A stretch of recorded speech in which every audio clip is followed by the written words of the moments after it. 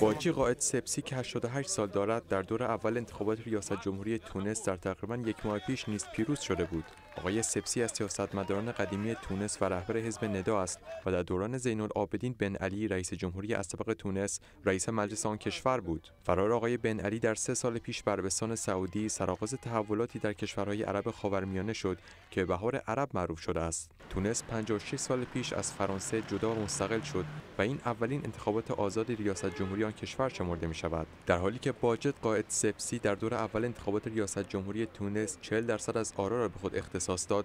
آرای طرفداران منصف مرزوقی کفیل ریاست جمهوری تونس که یکی از کاندیداهای آن انتخابات بود از 33 درصد فراتر نرفت. منصف مرزوقی رهبر حزب النهضه تونس است که تشکیلاتی اسلامگرا و میانه است. در اساس فرار رئیس جمهوری پیشین در سه سال پیش با آغاز انقلاب تونس النهضه به صورت حزب حاکم آن کشور درآمد.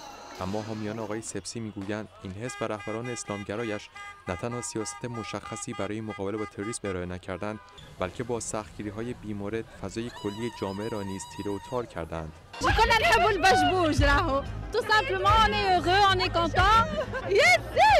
مدت ها بود که دل مرده بودیم. اینجا و اونجا چهره های خشن نشونمون می‌دادن و شادی برایمون ممنوع شده بود. زنده با تونس. باجی قائد سپسی در رأس گروهی از سیاستمداران و صاحبان صنایع تونس که با اسلامگرایان مخالفند با شعار احیای حیثیت ملی در انتخابات ریاست جمهوری شرکت کرد. علی نژادی صدای آمریکا.